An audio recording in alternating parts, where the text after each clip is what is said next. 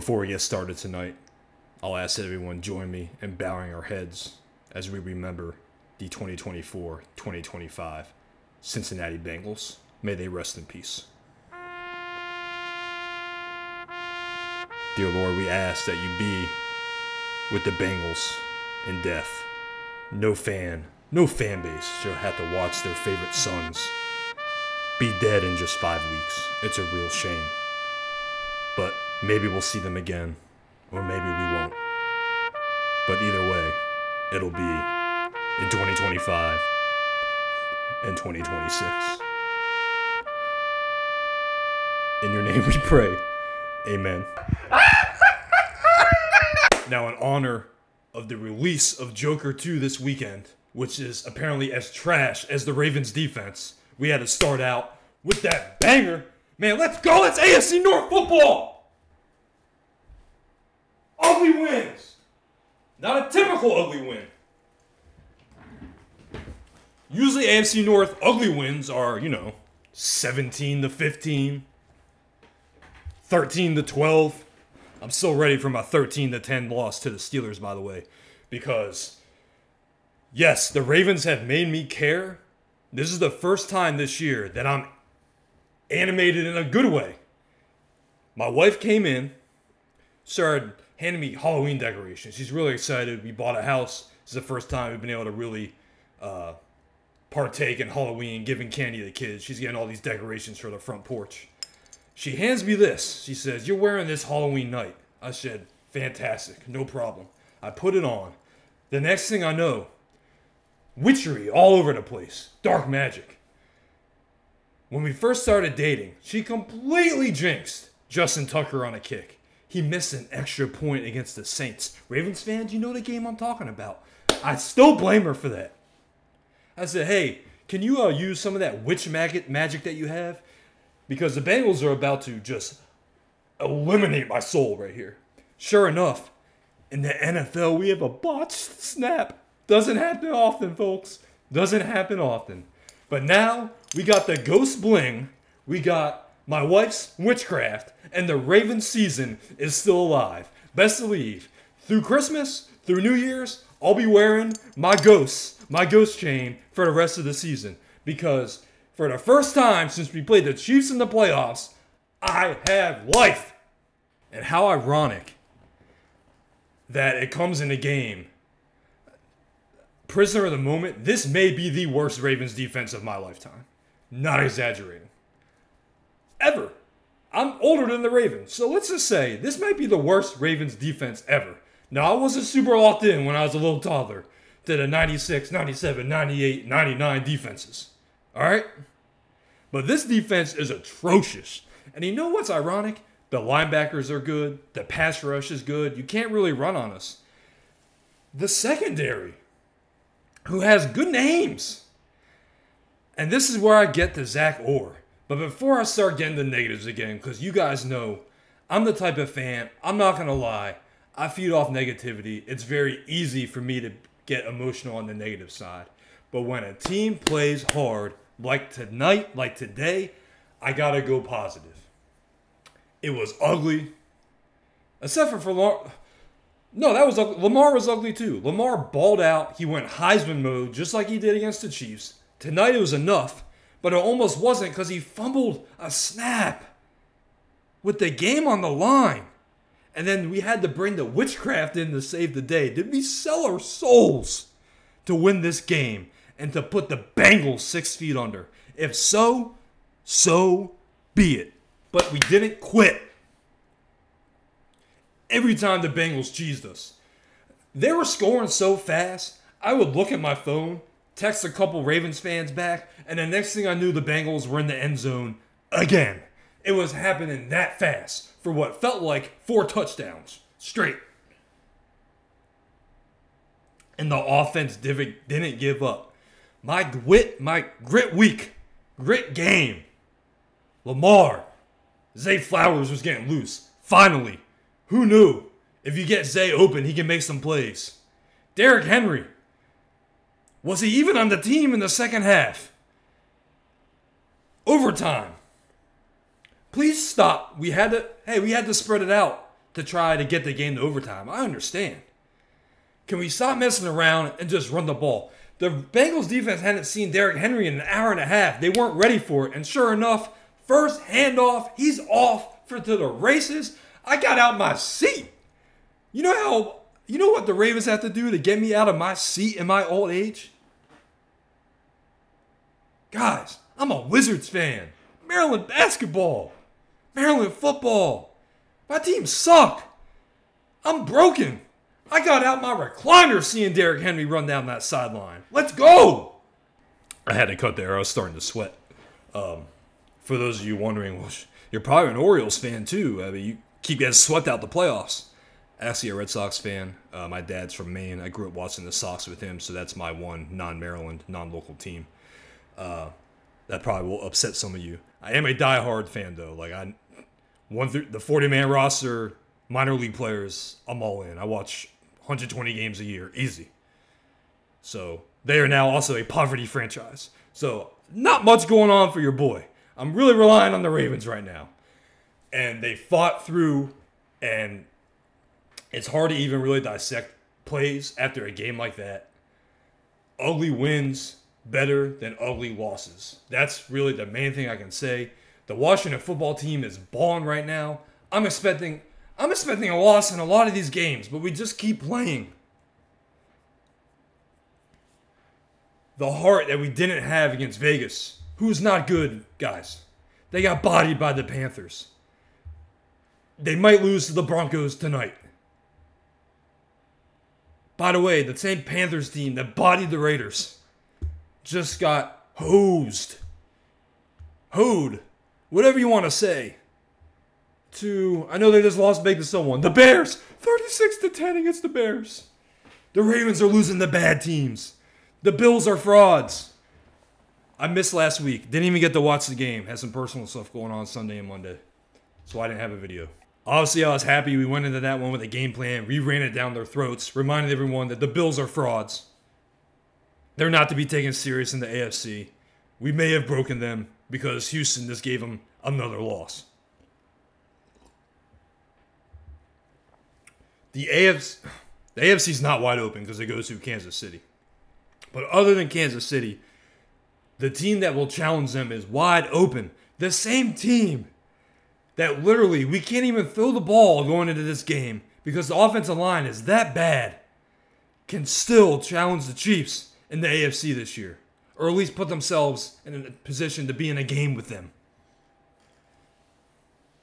The Bengals are already done. Lamar, 9 and 1 against Cincinnati.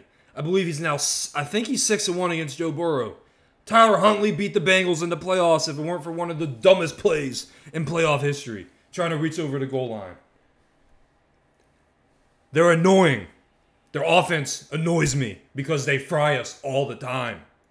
Doesn't matter how bad they look. They're playing the Ravens, they start circling our secondary, and it's a wrap. I keep looking at the TV because for the third straight year, I bet on the Phillies to win the World Series, and uh, they're down two nothing against the Mets. Already down one game to nothing. Once again, I needed this Ravens victory. Three straight wins. I am hype. I and you know what's crazy? I can't even watch the game next weekend because uh, one of my best friends is getting married. I got about a five hour drive back home on Sunday during the game. I'm gonna record it and I'm gonna probably do a video on Monday next week. So probably no Sunday video, but I'm gonna record the game and still watch it. Because this is just the season it's gonna be. There's not gonna be comfortable wins. That's a that's a mindset I have to get used to. That's a mindset some of you might have to get used to. Bengal fans, I don't mean to be disrespectful. I'm actually kind of known for giving respect to our opponents. Hey, it's a division game you already know we hate each other, so I'm not going to lie to you. But I did say, hey, look, you guys always fry us, our secondary toast, all the time. Props. Best of luck trying to dig your team out of a hole that they've created. If you're a realistic fan like me about my teams, you probably know, you're probably mad, like I would be. That, and, and this this is why I was so mad when we lost to the Chiefs last year, guys.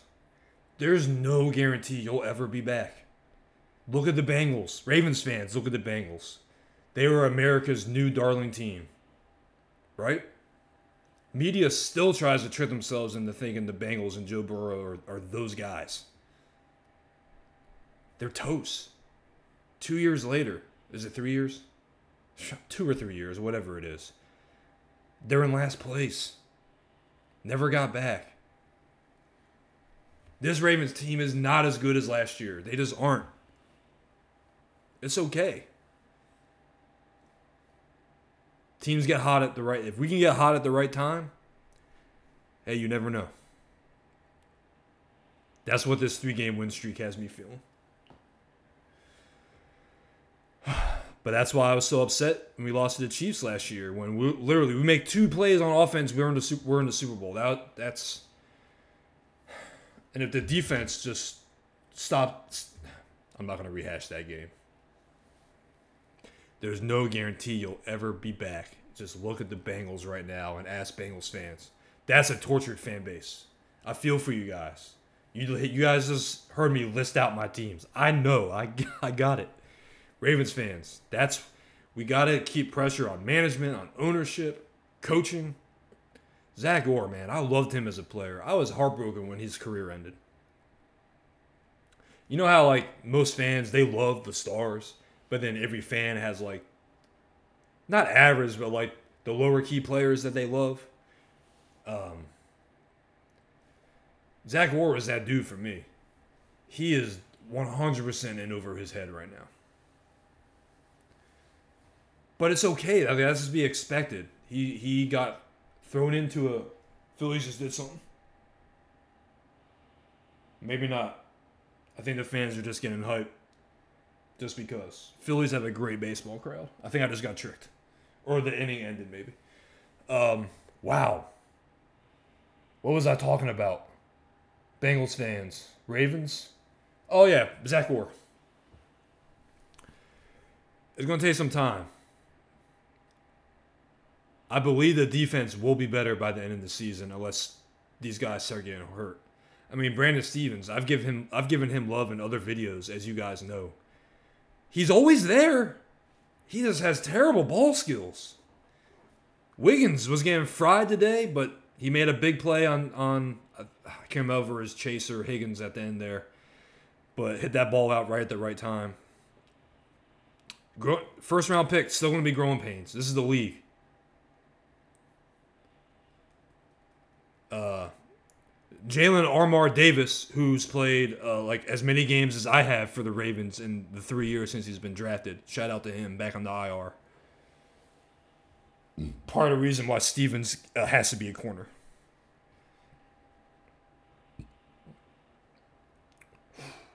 Derrick Henry running down that sideline in overtime. Just it brought me back as a Ravens fan. I have I haven't been this rejuvenated since we played Houston in the playoffs last year.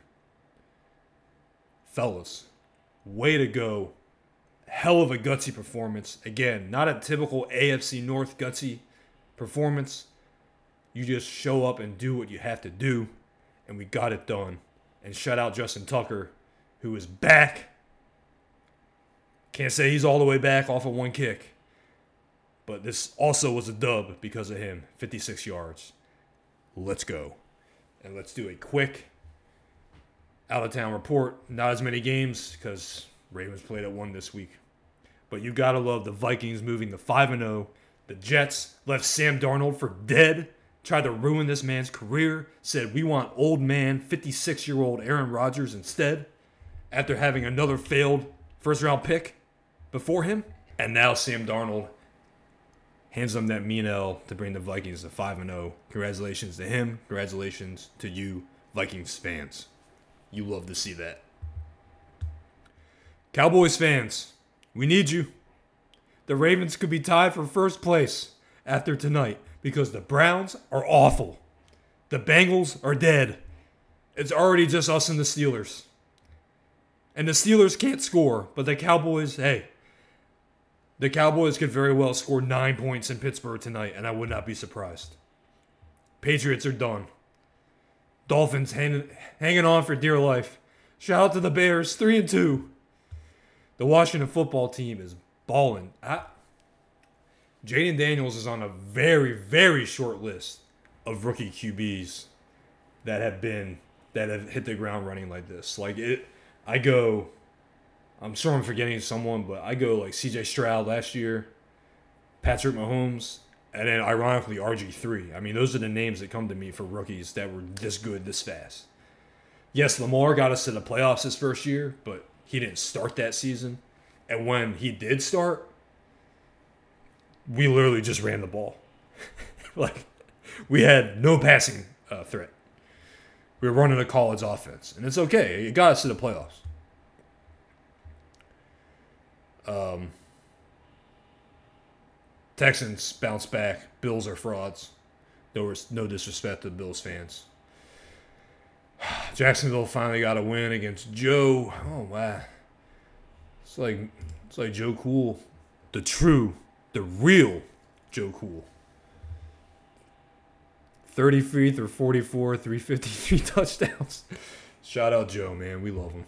I'll always love that man. I don't care what you guys try to say.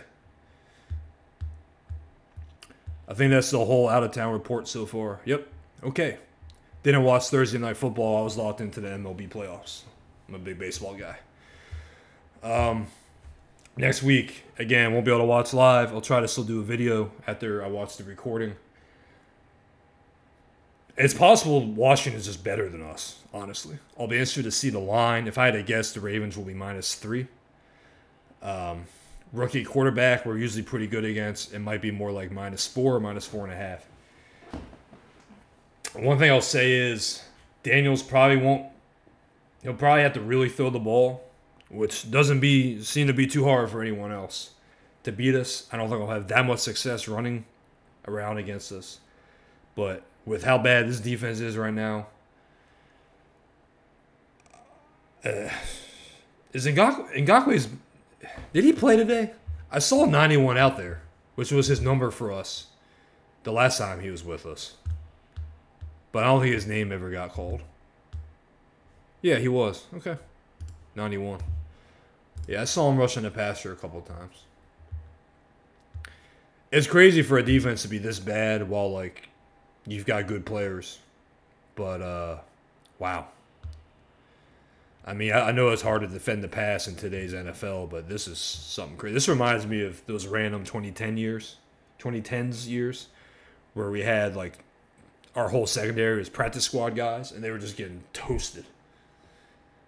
Today looked like that with a completely healthy secondary.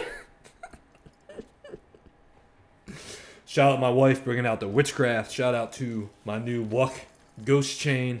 And shout out again to the Ravens for coming through. Shout out to you guys for joining me again on my channel. I really appreciate you. And I'll shout out my other channel as I always do. If you guys like history or national parks, I do all that kind of content on my national parks channel. I'll link that in the description. You can check that out as well. You can check out my videos about movies and pop culture and all that kind of stuff, food reviews. I got that going on on my channel as well. Again, thank you so much for joining me. I really appreciate it. Go Ravens. I can finally say that with some emphasis and some hope this season. And uh, hey, I got a lot of friends. I spent the last nine years in the DMV. I'm back in the Baltimore area now. I got a lot of friends that are Washington football team fans. It should be a fun week. And like I said in a previous video, I don't really consider it to be a rivalry the fan bases root for the same teams in other sports. We play once every four years. That's just my opinion. But it should be a good game. I know they're really looking forward to it, seeing how they fare against one of the top dogs or traditional top dogs in the AFC. And I'm looking forward to see if we can win four straight games against anyone with how we look to start the season. That would be phenomenal. But hey, Washington looks good. I can't deny it. So I will see you guys at some point next week, hopefully. Take it easy. Hope you guys have a good, blessed week, per usual. Peace.